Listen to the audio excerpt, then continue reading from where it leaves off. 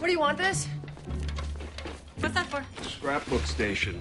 Put it next to that box with the glitter pens. Oh, no, no, no. Don't put it anywhere. We're not having a scrapbook station. You heard Callie this morning. She wants us to go all out. Move the table. No, don't move the table. Mark, this isn't a scrapbook station kind of shower. You're wrong. Yang, tell her. Torres wants all the girly stuff. Games, onesie decorating. I have a patient. Grey, I can't get over the fact that you know what onesie decorating is. I've been boning up. That's what you do for the people you love. Oh, bite me, Mark.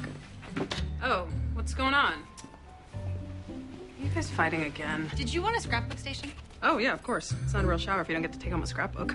Ooh, we should have glitter pens.